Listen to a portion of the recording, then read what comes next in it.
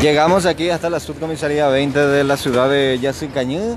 Hubo un procedimiento policial fiscal en horas de la tardecita, eh, específicamente en la propiedad de los Sanabrias, en la colonia Burucuyá. Aquí vemos al fiscal eh, Juan Daniel Benítez, quien es el que está eh, interviniendo este, este caso. Hay dos detenidos, creo entendido, eh, vamos a hablar con el fiscal para saber qué exactamente pasó. Fiscal. ¿Cómo está Juan Daniel Benítez? Estamos en vivo, ¿podemos hablar un rato? Sí, señor. Se realizó un procedimiento fiscal, hay detenidos. Sí, en realidad eh, eh, tenemos dos detenidos en este mismo momento. Nosotros nos constituimos con el fin de realizar relevamiento de datos en una finca donde de larga data tenemos innumerables denuncias por varios hechos punibles. Concretamente eh, lo que teníamos es una invasión de inmueble de ya prácticamente un año y algo de duración en el cual hemos hecho una incursión en el mes de diciembre hemos ingresado en el lugar y constatado la eh, realización de varias viviendas precarias y eh, los invasores se habían retirado en aquel momento para volver a ingresar con posterioridad. ¿Ese, eh, es en una propiedad que está ubicada en la colonia Burucuyá, es así? Correcto, acá en el distrito de Yacecañí es una invasión harto conocida por todos y que ha generado un sinnúmero de hechos punibles ya en su interior que van inclusive hasta el hecho punible de abuso sexual en niños, ya que en el transcurso de estos meses también hubieron denuncias de una niña embarazada que eh, había estado en aquel campamento precario de los sin tierras. Eh, es así como hoy nos hemos eh, acercado otra vez hasta el lugar para hacer un relevamiento de datos para conocer la situación del, del, inmueble y nos encontramos con dos situaciones. Primeramente un vehículo que estaba ingresando a la propiedad eh, al que al ser alteado eh, esta persona eh, manifestó ser un taxista que traía a una persona con él y esta persona al requerírsele su documento y él por qué estaba ingresando al inmueble en cuestión manifestó que entraba a cosechar su maíz. Y se trata concretamente del señor Adolfo Vera quien manifestó que él eh, iba a ingresar a aquel lugar a, cosechar su, su, maíz y a retirarse. Él mismo eh, manifiesta que vive en la colonia Cerrito, por lo que ordenamos su detención y vamos a iniciar un procesamiento, vamos a indagarlo por el hecho punible de invasión de inmueble. Eh, también de su poder verificamos que este auto que estaba siendo conducido por un taxista es la lea que él compró.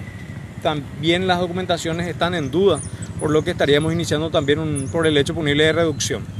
A la par de esta, de esta verificación, eh, visualizamos un camión que ustedes pueden ver acá en, la, en las imágenes, que pretendía salir del predio y eh, al percatarse de la presencia policial fiscal intentó darse a la fuga, por lo que empezamos a, a, seguirlo y a lograr su detención eh, logramos detener y eh, incautar esta carga que ahora ustedes pueden visualizar, eh, cuyo pesaje tenemos que cotejar, tenemos que realizar eh, bajo un anticipo jurisdiccional de prueba y con las medidas técnicas necesarias, pero puede visualizarse a simple vista que se trata de carbón vegetal lo que contienen estos bolsas. estas bolsas y la cantidad definitiva no, no podría precisar pero aproximadamente estamos hablando de 100 bolsas.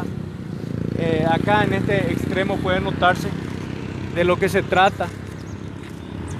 Y evidentemente la intención constante de esa invasión es perpetrar este tipo de hechos y lucrarse, no concretamente con la tenencia de la tierra, sino con la depredación de los recursos naturales de ese inmueble, por lo que en reiteradas ocasiones ya en las incursiones hemos visualizado hornos de carbón y también hoy hemos podido visualizar en la zona donde se encuentran los invasores de tierra eh, una gran cantidad de humareda. He hecho un video que he hecho llegar también a los medios de prensa en el cual se puede visualizar que es constante la depredación del monte y la única intención de estas personas es hacerse con eh, este recurso natural y convertir el bosque en carbón para venderlo como estamos viendo ahora. ¿Se podría decir que eh, se, se, estaba fabricando allí mismo, dentro de la propiedad, estos carbones? Así es, porque ya en aquella oportunidad hemos eh, logrado visualizar y hasta destruir 20 hornos de carbón cuando logramos ingresar a la propiedad, cosa que hoy es imposible por la belicosidad y por la cantidad de obstáculos que estas personas han colocado en los caminos para poder ingresar. Eh, es decir, es un campamento en el cual están parapetados todo tipo de personas que tienen eh, frondosos antecedentes, por lo cual su peligrosidad es eh, bastante grande y harto conocida, por lo que instamos a que depongan esa actitud hostil y cualquier persona que pretenda acompañarlos esté eh, consciente de que está realizando un hecho punible y que es un hecho punible grave que desde el Ministerio Público no vamos a tolerar, vamos a iniciar los procesamientos. Este tipo de hechos conlleva una expectativa de pena de hasta siete años, por lo que se trata de un crimen por lo que estaremos pidiendo la prisión de estas personas, como si también la prisión del invasor de inmuebles. ¿Puedes reiterar, doctor, los nombres de los detenidos, por favor? Bueno, concretamente tenemos eh, en los hechos punibles de invasión de inmuebles a Adolfo Vera y eh, con relación al tema del carbón al señor Máximo Cuenca Burgos. ¿Son los detenidos? Sí, ambos. Muy bien, gracias fiscal Juan Daniel Benítez. A las órdenes, que tenga buena tarde. Muy bien, el fiscal Juan Daniel Benítez, el fiscal interino, quien está realizando este procedimiento eh, fiscal policial en horas de la tardecita en el predio de la propiedad de los Sanabria. específicamente está ubicado en la colonia en Burucuyá, departamento, eh, distrito de, de Yacicañé. Y bueno, este es el vehículo incautado. Eh, está lleno de, de carbón por las imágenes que estamos eh, viendo, se estaba eh, fabricando allí dentro de, la propiedad, justamente estaba manifestando el agente fiscal que estos carbones se, estaban produciendo dentro, dentro de la propiedad eh, indicada, señores. Hay dos detenidos en, esta, en este procedimiento. Aquí vemos el vehículo Asociación de Camioneros y Productores eh, Curuguateca Nindeyú, chapa número CDU 529.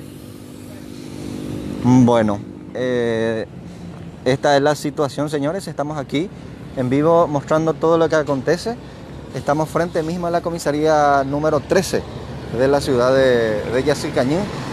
Ya ustedes escucharon al, fiscal Juan Daniel Benítez la situación eh, y los hechos sucedidos en esta tarde de martes. Ya en instantes vamos a estar ampliando más eh, detalles de este procedimiento fiscal policial, amigos del portal de Curuguate.